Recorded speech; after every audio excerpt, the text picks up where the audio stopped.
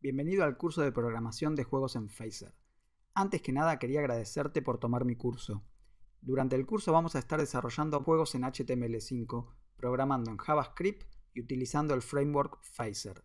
Phaser es uno de los frameworks más populares estos días para desarrollar juegos 2D en HTML5. Y lo bueno es que soporta mobile.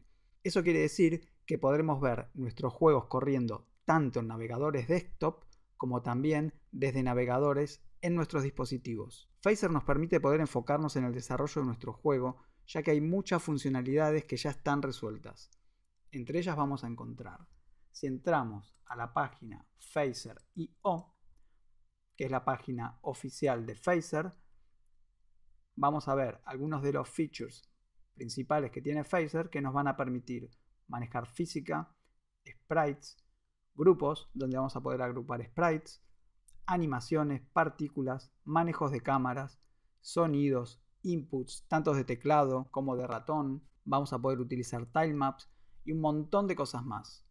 Así que lo primero que tenemos que hacer es entrar a la página Phaser.io, vamos a ir a la sección Download, vamos a hacer clic aquí y vamos a bajar nuestro framework Phaser. Solo vamos a necesitar un único archivo en nuestro proyecto para poder utilizar el framework. Vamos a ver aquí que hay varias opciones. Nosotros vamos a estar utilizando o JS o esta versión o esta. La diferencia entre las dos es que MinJS es una versión reducida y comprimida del framework Phaser y generalmente sirve cuando ponemos nuestro proyecto en producción. Lo que tiene es que está comprimida y no vamos a poder leer el código.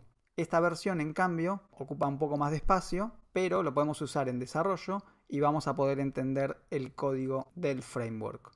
Nosotros en general durante el curso vamos a estar utilizando esta versión. Luego también tenemos la versión zip, que también vienen con algunos ejemplos. Y los que sepan usar GitHub pueden clonar el proyecto desde aquí. Entonces vamos a bajar esta versión Y por otro lado, para desarrollar juegos en Phaser, vamos a necesitar un editor de texto, que en este caso nosotros vamos a estar utilizando Brackets. Así que entren a la página de Brackets y denle acá Download.